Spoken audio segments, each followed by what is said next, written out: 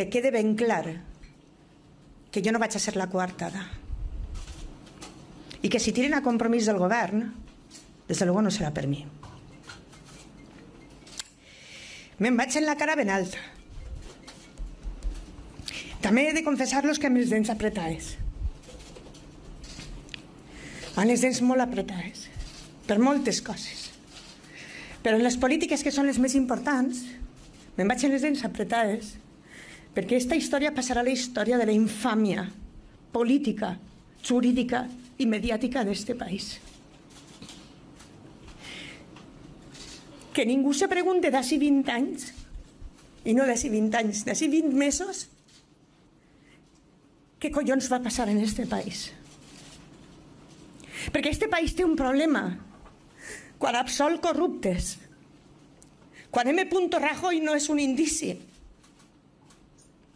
i s'encausen innocents, i passen Vicky Rosells. Bueno, finalmente Mónica Oltra por fin eh, ha dimitido. Lo primero que hay que hacer es dar las gracias a todos los que eh, a mi asociación eh, Gobiernate mm, nos habéis permitido llegar tan lejos porque desde luego esta es vuestra querella.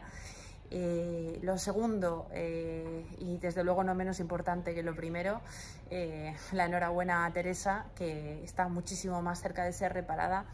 La enhorabuena a las madres que van a librarse de que los recursos o que los expedientes de desamparo de sus hijos sean firmados por esta mujer, peligrosa y peligrosa sobre todo para los niños. desde luego yo creo que este es el inicio de una larga etapa de prosperidad y de cambios positivos para los valencianos. Creo que merecemos muchísimo, muchísimo más.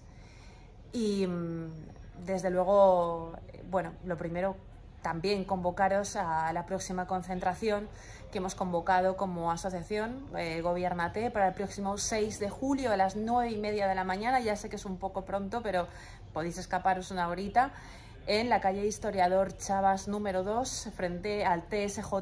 Allí os repartiremos una, una máscara que representará a uno de los 175 niños eh, tutelados que han denunciado haber sido abusados eh, durante el último año bajo el mandato de Mónica Oltra y bajo el mandato de Chimo Puig, porque todo esto ha ocurrido eh, bajo el liderazgo político y bajo el gobierno de Chimo Puig, que desde luego también es responsable. Por ello iremos a la puerta del TSJ el próximo 6 de julio a las 9 y media de la mañana con el lema por los 175 niños abusados, gobierno, eh, dimisión ya.